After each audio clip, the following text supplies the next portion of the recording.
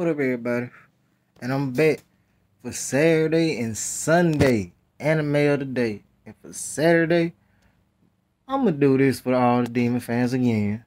Yes, for the Demon fan. And October next month, if you are not, if you don't know or not waiting, you need to be waiting or need to catch up on Demon Slayer. The anime for Saturday was Demon Slayer. I did make a video for it, but I don't feel like letting that bitch upload. So I'm gonna make this one into it.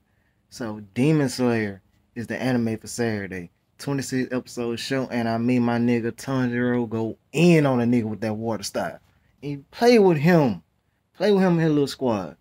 That's enough about them. But today, Sunday anime today, is fucking Black Fox. Black Fox is a movie damn near two hour long about a girl. And basically, the girl is trained by her granddad is a fucking bona fide ninja, and daddy is a badass scientist.